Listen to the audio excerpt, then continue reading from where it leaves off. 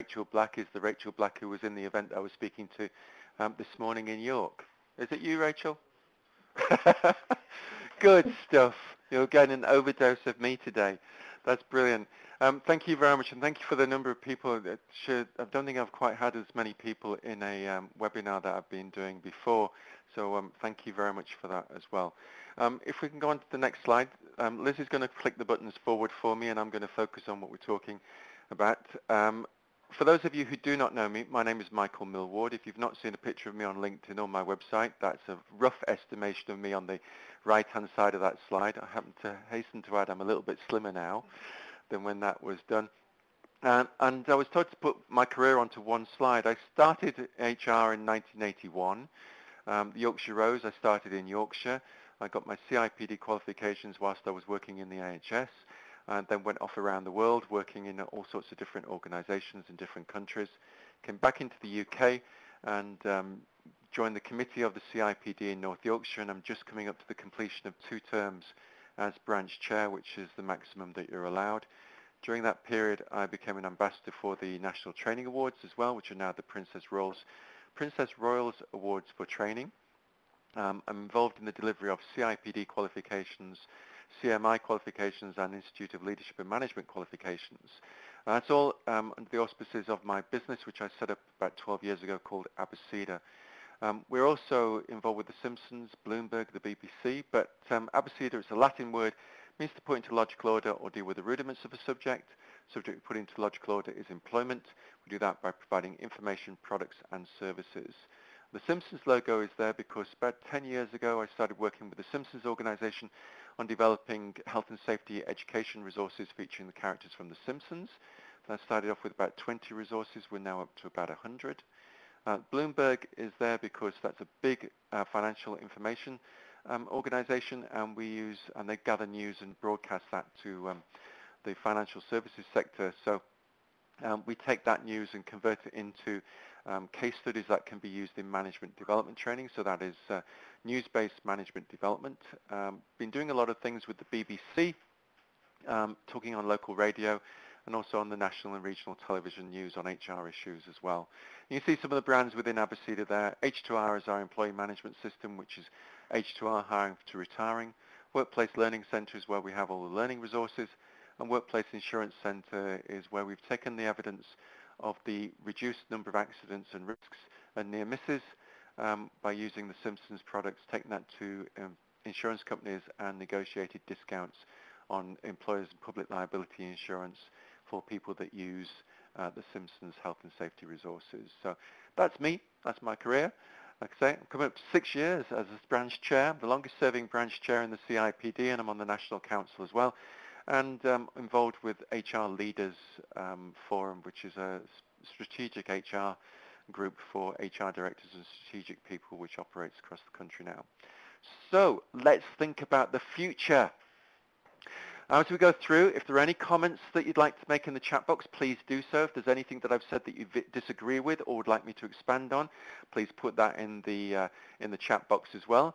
If you think that I'm wrong, then please tell me and we can discuss it within the chat box as well. So uh, when you're predicting the future, you're looking at what has happened in the past, what is happening now, and how that might influence the change.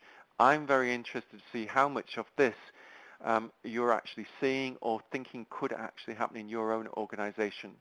One of the things that has struck me over the last few days is doing all the research for this is seeing how similar a lot of organizations, people like the EEF, the CBI, the CIPD, the TUC, lots of uh, magazines, Forbes magazine, Business Week magazine, um, oh, The Economist, all of these types of organizations, how they're all thinking along the same sorts of lines. But of course, that can be different when you're an actual employer. So we're going to be looking at things like recruitment. We're going to be looking at the ways in which people work, uh, the way in which people are paid, um, the way in which people learn, employee relations at work, um, the skills that people have and how skills are developed and maintained. And then we're going to round off with a little bit of employment law, but I will leave most of that to the people who do the employment law webinars. Um, uh, but we will cover off a couple of the things and talk about some of the HR issues that, we, that will come up as a result of that. Okay, so first of all, we'll look at recruitment. And I'm very interested to know, in, two, in 2016, will the recruitment activity that you have inside your organization increase, stay the same, decrease, or do you not want to tell me? And anyone who wants to point out the spelling mistake in that question is very welcome to do so because I didn't type it. Yeah, that's Liz. Yeah. Yeah. This is very interesting, very interesting. Yeah, most people are staying the same, but uh, quite a few are growing and some people will decrease. Right. Okay. Very interesting. All right. Okay. And now, just on top of that, got another question for you. Is your recruitment um, focused when a vacancy occurs? Right? When it's to recruit strategically to meet expected demands, so things like graduate recruitment, apprenticeship recruitment. Um, are you not expecting to recruit or is something else that drives your recruitment? So, sorry? Yeah, if you do have some other reason which drives your recruitment activity, if you could put that in the chat box, that would be great. Thank you very much. Quite a few, yeah, almost 50-50. Um, yeah, that is brilliant. Sorry? oh yes, we, we're keeping up to date with our, with our typing errors here. We'll get to talk about skills later on. Right, seasonal recruitment. Yep, that I got some experience with that. Understand what you mean there. It'd be interesting if that's like related to things like Christmas, or is that related to um, which is Christmas or holidays, which is like increases the demand, or is it production um, things around seasonal development of products, that sort of stuff? Right. Okay. People leaving. You replace the people that leave, but some strategic. That's really interesting. This is very good. Thank you very much. I appreciate that. It's a really good insight into what is actually happening within the recruitment market and how that will be driven um, from an employer's perspective. I think that what we're talking about in some ways with recruitment is that it's going to become much more strategic for everyone. Um, there is a shortage of people within the UK with the right skills. We have people, but we have people very often don't have the right skills, and that's one of the co- complaints that a lot of employers make. If I talk to people from Job Centre Plus, they will tell me that following the recession, most of the people who lost employment as a result of the recession are now back into work, and most of the Job Centre clients are people who have difficulty in finding work for some reason or difficulty in maintaining work. So they have they don't have the right skills or their skills are out of date or they have a disability, a criminal record, some type of problem which stops them from getting into work. But we are seeing many more employers take a strategic view of a recruitment and looking for where their replacement uh, employees are going to come from. Building relationships with colleges, universities, schools, getting in there before they need someone so that actually their recruitment cycle, the time it takes to recruit from the vacancy becoming um, open to them actually having somebody in a job can be reduced. This is the old sort of thing with a recruitment consultant. They made their most money when they could find someone from their database and slot them into a vacancy. Liz is nodding her head here, right? Yeah, from old days. But actually uh, using the thing, sort of things. I'll put a plug in here for you, Liz. Using the sorts of services from Shorebird can help reduce the length of time from um, having a vacancy to actually filling it. But more employers are taking that strategic approach of saying, okay, if this accountant left, where would I find the next one? Where am I going to be finding them? Where are they going to be networking? Which magazines are they going to be reading? Which websites they will be looking at? Looking for where they can get the biggest bang for their buck in terms of um, website purchases of recruitment advertising, and of course also looking for recruit, free recruitment advertising as well. I put more recruitment that will be like marketing a product.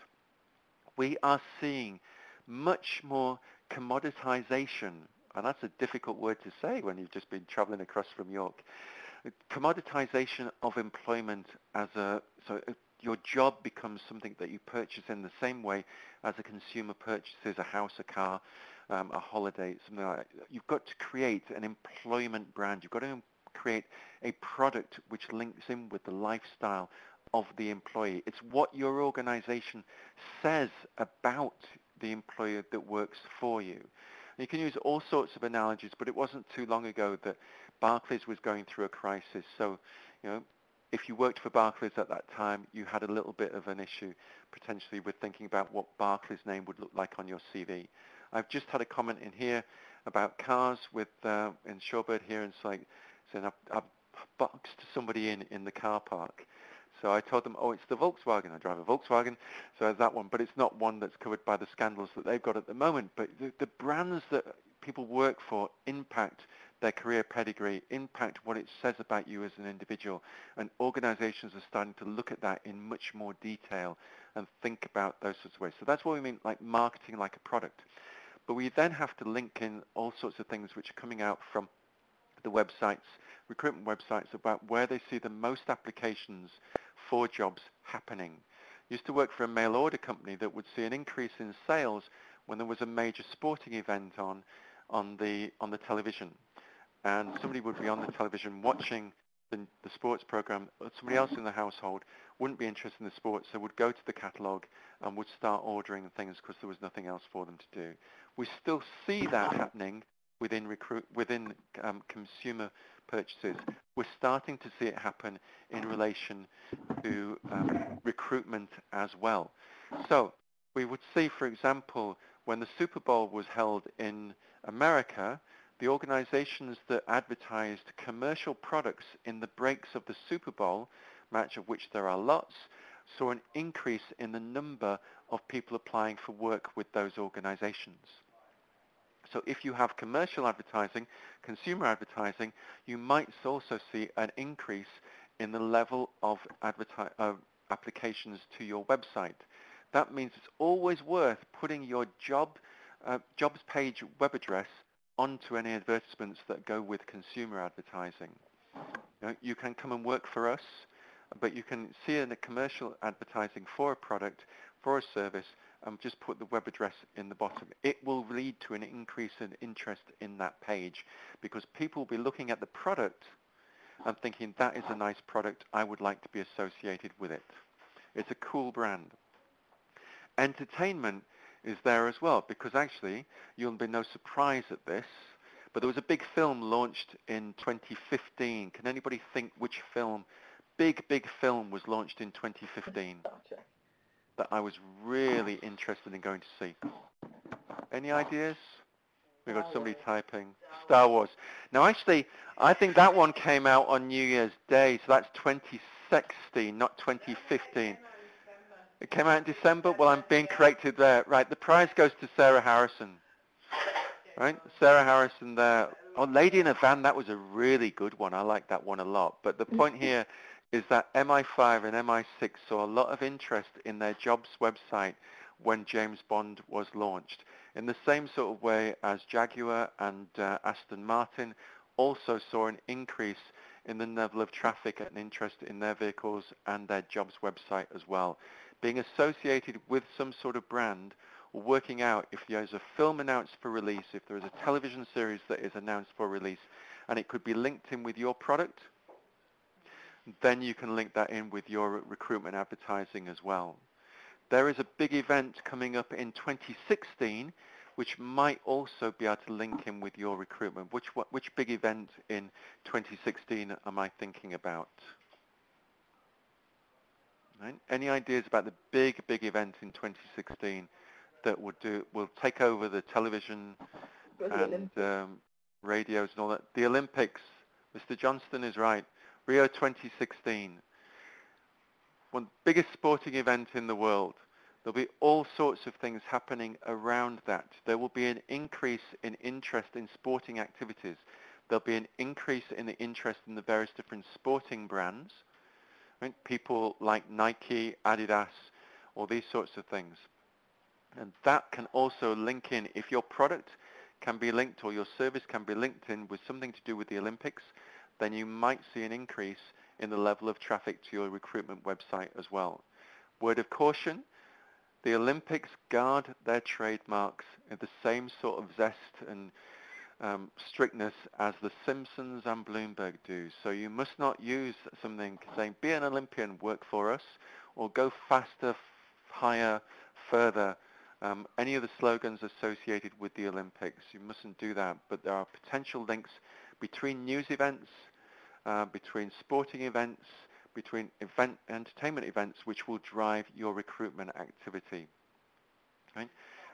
Yeah, we can do that. Yeah. Right. Quick poll from Liz here. Right. Are you close to your marketing department? This is one of the things, one of the big trends that is coming up in HR in terms of recruitment. Learning the lessons from what marketing do and you, learning the lessons from marketing in terms of employee communication as well. Employee relations and customer relations are very important and I'm a big advocate of treating employees like customers and increasingly so.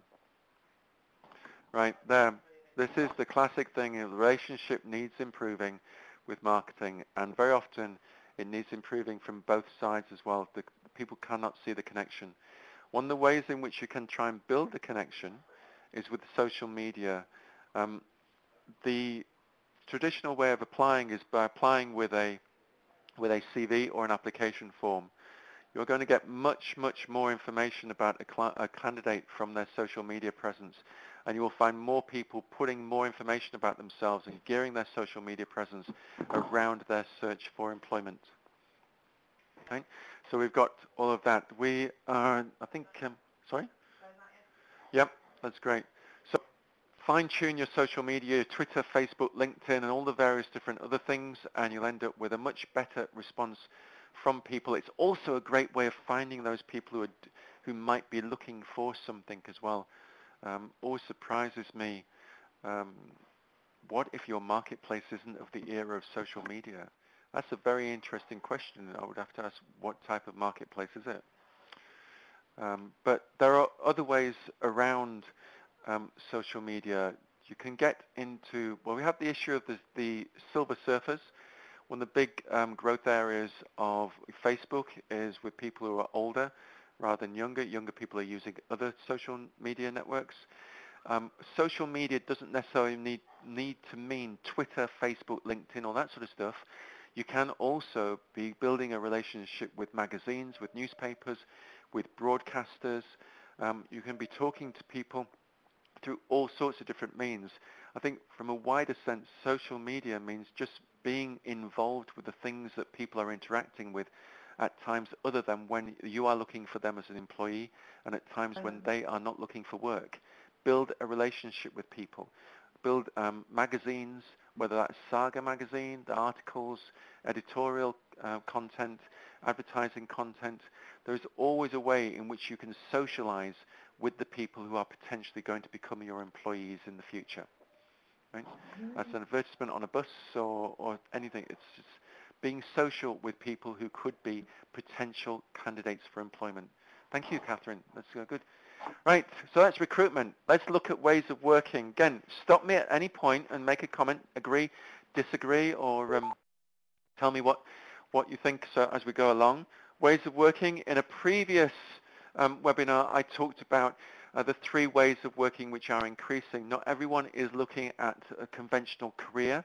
Um, there are different blends of ways of working. So organizations in the future will have more valued employees who are full-time employees.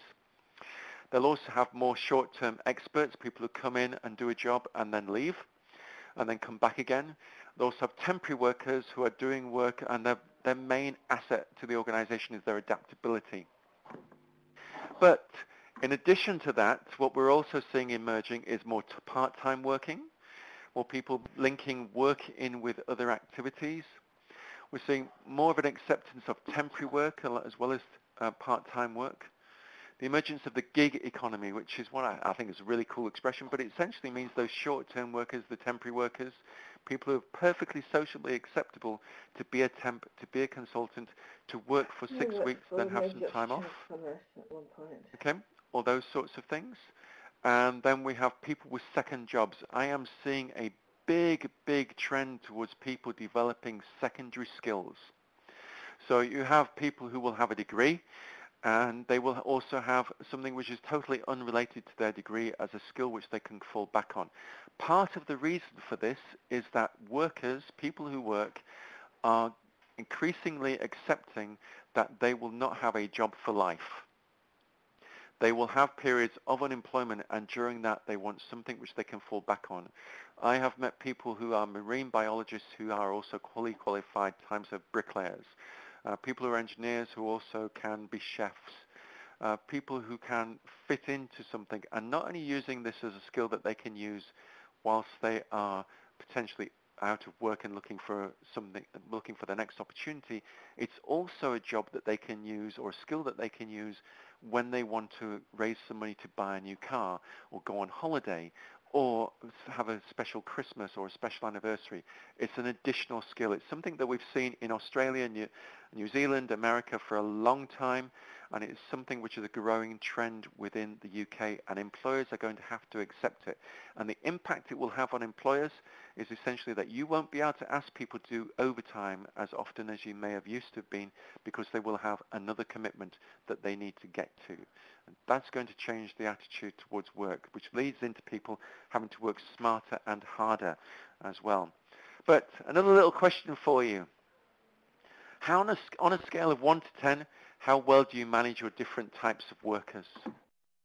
So just put a number into the chat box for me, please. That would be a, that would be great.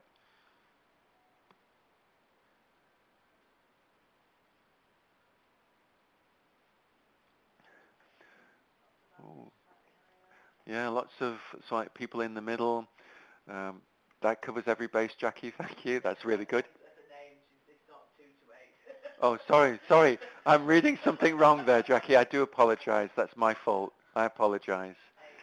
Yep. yeah, good spread, but a lot of people in the middle.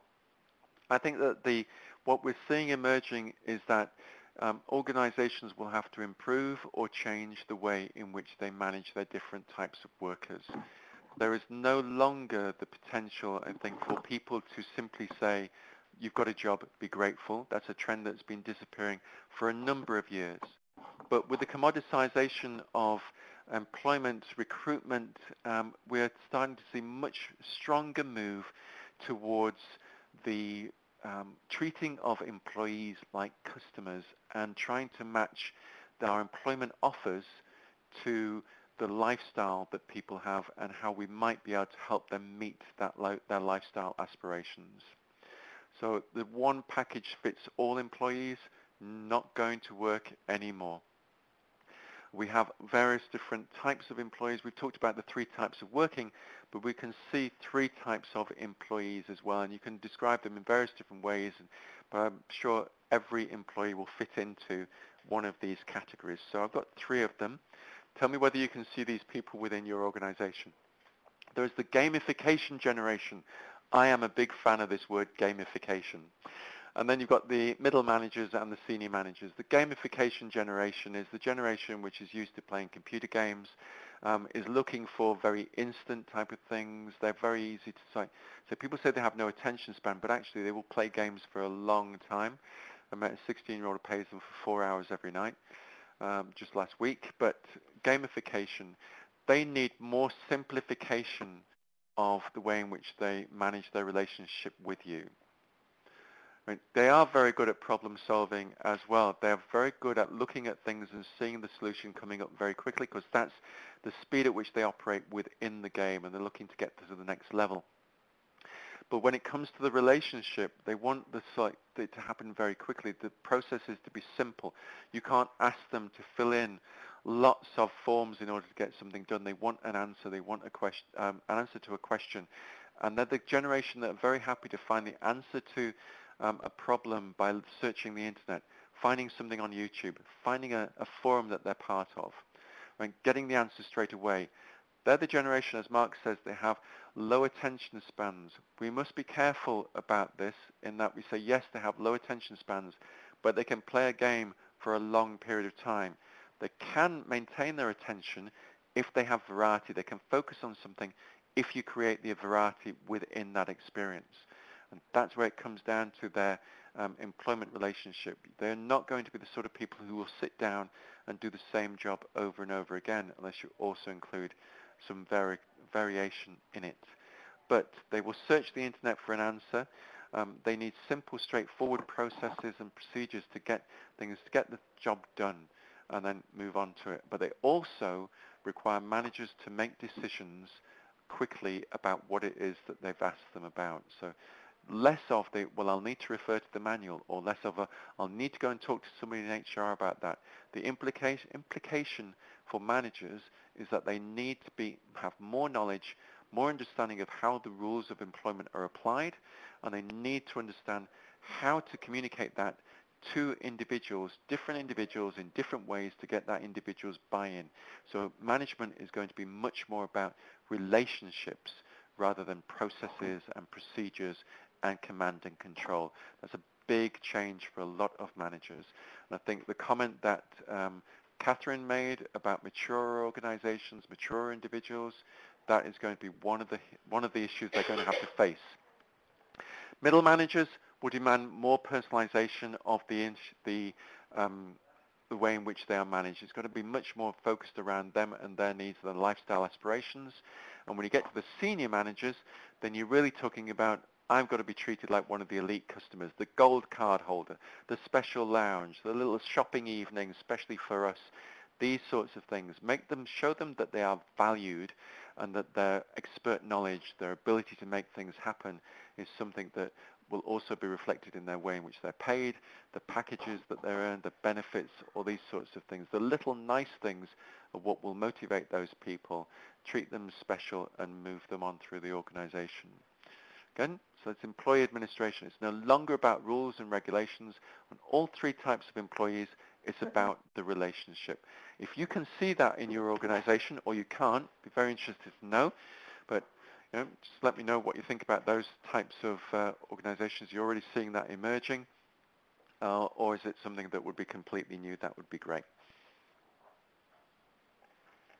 Okay. Another little poll for you here. Are you expecting a pay rise in 2016? Yes or no? Ooh, almost 80% of you are looking for a pay rise in 2016. That's not a big poll at the moment, but um, the majority of you are very much definitely looking for a post uh, for a pay rise.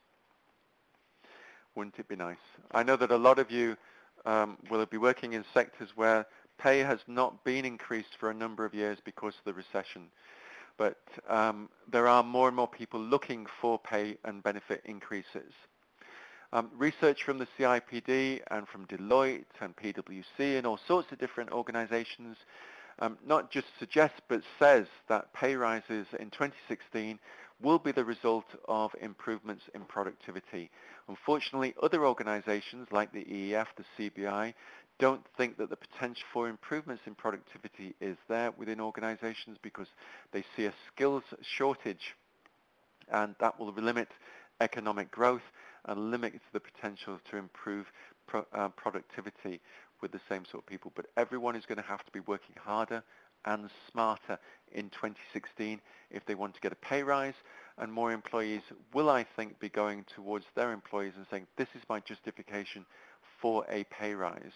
Um, pay rates will be more publicly known. There'll be more communication of them. People will talk about them. Some of the embarrassment about, oh, it's not polite to talk about pay will be diminished when people are looking at equal pay for equal work of equal value and all these sorts of things. One of the things we are seeing in terms of pay and benefits is an increase in the demand from employees for financial advice. The scandals of the last few years in terms of banks, financial advisors, pension companies, all this sort of stuff has made people very wary of financial advice. The issues of um, getting the right advice from the right person, there's a lot of distrust. Um, there is distrust in managers as well. One of the um, consequences of um, the Labour Party under Tony Blair's government sort of said, we'll spin this to give it a good give a good impression has led to um, people being distrustful of authority, including managers. So they're looking for information and advice from somebody that they trust. and that one source of information that they really trust can be their employer. And that's who do you associate with that you can also trust? Who can you bring into the organization to provide them with the advice? Because people are going to have to take more, um, more decisions about their own finances. Um, payday loans will become much more of a feature. The, pay, uh, the advertisements on the television are increasing interest in payday loans. Um, the credit economy that we have means that people are starting to see those as more acceptable, regardless of the, the interest rates. So we may see more employers offering those as a way of managing employment. Um, we'll also see more employers offering budgeting tools. There is a good one about which is run by an organization called Squirrel. Uh, we have more information about that if you wish. But the changes in pensions um, will result in more organizations or more employees looking to their organization for um, pensions advice. You used to get the pension straight from the business. That was great. But that's now something you can buy into or you can go somewhere else. So that's one of the sorts of things we're seeing employers becoming sources of financial advice to their employers or the introduction of trustworthy financial advice. And of course, pay being based on productivity rather than on entitlement. You've been here for so long or you just happen to be in a job you find that no, you've got to prove that you're worth the money. Okay. Now, are you planning to learn a new skill in 2016? You know, just quickly, so I tap yes or no or on that one. Oh, 100% straight away. 100% or 80, 90%. Got some broadcast the results. You see most people, vast majority of people aiming to learn a new skill. Right. In terms of learning, there will be less of our classroom-based, traditional classroom-based um, learning. We'll see much more in the way of people, um, well, less likely to be classroom-based learning, less likely to be accredited, um, less likely to be structured e-learning. That's the one where you have to go through 12 things that you already know in order to find the one piece of information that you did need, and less preparation for the future. There will be more one-to-one learning. You'll try and find someone who can teach you what you need to know at the time you need to know it. Um, so that could be an expert in the organization or somebody outside the organization. It could be something that you do with your organization or something you often do by yourself. The gamification generation of finding knowledge from experts who have proved themselves via social media and the number of people that follow them. They're finding things on YouTube. You can build a house on YouTube, I am told, with all the various different videos. There'll be more interest in mentoring and coaching as well. So more people less interested in the accredited training. There was a stage where we went through any training is good training. Then, well, actually, any good training will be accredited, so we need to have it accredited. And now we're into, well, actually, I don't need the learning to be accredited. But if I want to it accredited, I'm prepared to pay for the accreditation process, but the learning will be free. You can do a Harvard MBA online, attend all of the lectures for nothing. If you want the certificate and to sit the exams, it is going to cost you thousands of dollars. But you can do it, the lectures of an MBA course online and get all the learning. It's the application of the learning and the accreditation of the learning which will be important from an employer's perspective, potentially from an employer's perspective. So a lot of learning will be available, freely available on the internet, and a lot of it will be just in time. You'll be looking for, you know, this is what I need to know now, rather than I'll know this and need it for some time in the future. So we could see a way in which professional qualifications will be changing, uh, especially for the non um, uh, restricted professions, the ones which aren't statutory professions, um, we could see, and more of the CIPD's training, for example, is going to be online. You're going to do all of your qualifications online, so um, that sort of thing. Uh, you'll be able to do master's courses um, as well online and learn basically anything you need to do in relation to your job could be online and it could be there at the time when you need to do it. So that's learning. I know that um, I'm talking a lot here. I'm running out of time, aren't I, Liz? Liz is nodding me. So we will, we will crack on with employee relations. Um, information from the TUC says that they're going to be encouraging trade unions to look at partnerships with employers and have less interest in conflict. Um, legislation which the government plans to introduce will make strikes less likely because of the voting requirements that they will have. Um, the Harvard, oh, Nadine's question, the Harvard MBA lectures are on the Harvard MBA site. So you go to the Harvard University website and through the through the MBA, but I will um, sort out that link along with TED links and all that sort of stuff. Um, employees, like I've been saying, with the employee relations will be much more like customers. There could be loyalty building as a result of that relationship, but there could also be less loyalty as people look for that customer type relationship with their employer. And there will be more work-life balance. So it won't simply be about building a career. It will be about how does it fit in with my lifestyle? How does it fit with my children, my family, um, my care responsibilities, all that sort of stuff. And employers are going to have to build that into their employee relationships or build employee relationships based around employees rather than the old master and servant type relationship, which we talked an awful lot about in, term, in this morning's event in York. So um, employee relations, much more partnerships, much more customer relationship type of things. These are one of the things you can learn from customer services, learn from marketing. You've got to work together, I think, and you'll see much more of that communication across departments as we try and build those relationships. The skills was the next thing that we said we would talk about. There is going to be a worsening skills shortage. We do not have the people with the skills to do all the things that we need in the, doing in the UK. We have in the past imported people from all over the world, whether that was to be bus drivers in the 60s or to be plumbers in the um, in the last sorry, decade or so. But we could also see more jobs exported as well. So low-value manufacturing, which doesn't need to be done locally, could be exported, but high-value manufacturing will be in the UK. There is a shortage of engineers, shortage of chemists, of people who deal with um, drug development, but that is one of our key industries.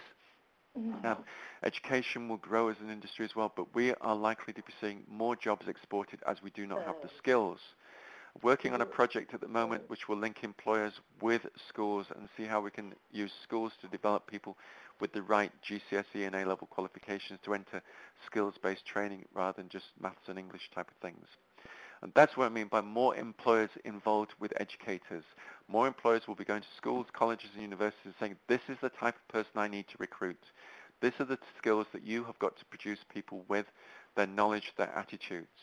That's what I'm looking for you. And schools will have to find those find ways of delivering that because there will be more interest in apprenticeships, especially as university fees um, are difficult to pay and you can learn and earn as an apprentice rather than as a graduate or an undergraduate. So less focus on graduate recruitment, more focus on apprenticeships. More of the professional services companies are doing it and finding that adds real value, that you have lots of people with um, coming in, learning, and becoming much more their person. Um, one of the things with some of the big professional services businesses, they want to take you as a raw recruit and mold you into their type of person. So the younger they get you, the better, and they're finding a lot of value in people coming through with apprenticeships and building that up. So more apprenticeships, less graduate, more employee, employer involvement with education to develop the skills, and um, the skills shortage could be worsening. The last thing that I said I would talk about, and Liz is just pointing out to me like I am running out of time, I'm sorry, but is the employment law. There will be a piece of legislation which is developed and will come in. It's the Counter-Extremism Bill. Um, that will be announced in the Queen's Speech, and it proposes that you as employers will be able to monitor employees lawfully in order to check whether an employee is an extremist or not. So they could be using your work-based computer to um, promote extremist activities. Um, it'll express people working with children or young adults as well, but that would be a responsibility that could be set on employers. We do not know at the moment what the penalties would be if somebody used your um, computers to promote people going off and join a terrorist organization, but there is bound to be some type of penalty involved. Termination payments, well, employers will face increased costs. There could be delaying complexity when exiting staff. Proposed changes to the taxation of termination payments are introduced. Elements of termination pay which are currently tax-free could end up with tax payments or tax being liable on those payments. So for example, only part of the sum paid for a redundant employee with more than two years service will be tax-free and it's not clear whether payments made as part of restructuring exercises, I know from the information that some of you gave us about merge, merging, acquisitions and relocations, this could be something that affects you, but it's not clear whether payments made as part of a restructuring ex exercise that does not meet the legal definition of redundancy will be exempt. So that's something to be looking at. Childcare and carers. Really, employers